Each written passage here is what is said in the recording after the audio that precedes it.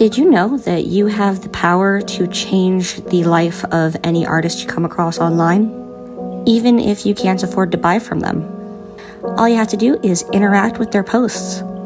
That can look like leaving a nice comment, hitting the like button, or hitting the share button.